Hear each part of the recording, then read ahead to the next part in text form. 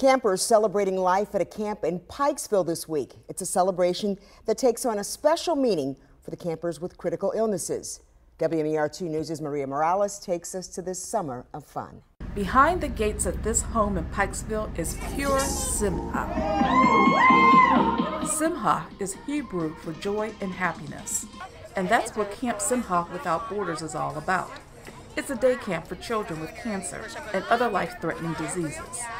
Talya Shoshani of Silver Spring is one of the campers. They're just really amazing. There's no, not really like words, like you can't describe it unless you really came to the camp. This is the 12 year old second year at the camp. Last year, Talya was undergoing treatment for Hodgkin's lymphoma.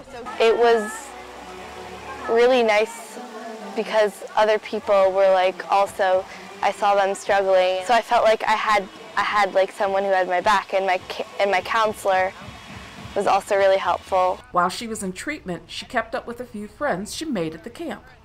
Now she's in remission. I can study, I can do this, I, can, I get to go to camp at the end of the year. That's what pushes me through. Siblings are also invited.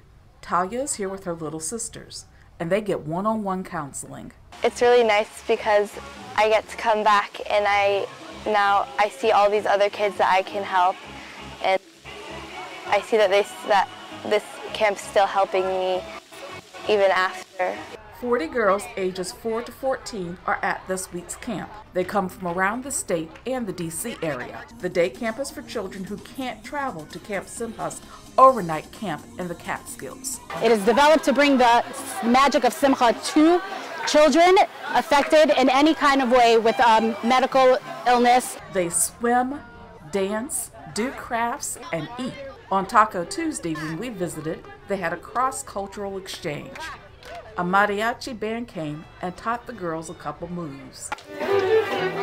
And it's all free, thanks to donors like the Rashowski family, who are hosting the camp at their home, and Chai Lifeline, an international support network for the Jewish community. Chai means life, and what we try to do here is to help so many and give life to those who are vulnerable and going through a very difficult time in their lives. Next week, it's the boys' turn at Camp Simcha Without Borders. And while there may not be tutus, there will be plenty of smiles. Celebrating Chai in Pikesville, Maria Morales, WMAR 2 News.